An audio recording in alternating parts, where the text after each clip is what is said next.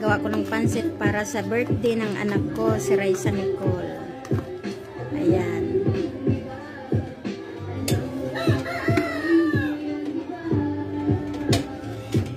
Tapos lagyan ko ng pineapple chunk.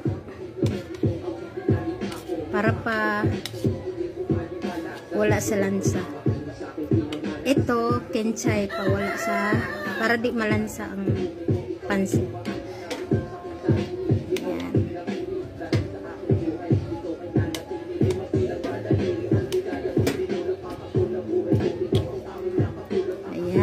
Ayan, ibilog natin yung design niya. Mali design lang. Pineapple, masarap ito sa vitamin C. Tsaka, para mawala ang lansa ng pansit, lagyan ng pineapple chunk at saka kinchay.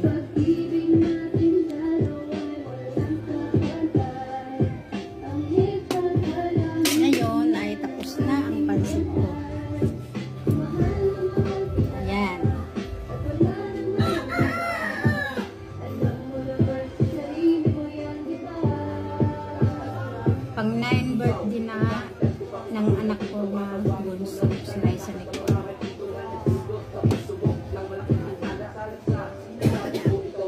Ayan. Tapos na ang pansit ko para sa birthday ni Rice Liza Nicole.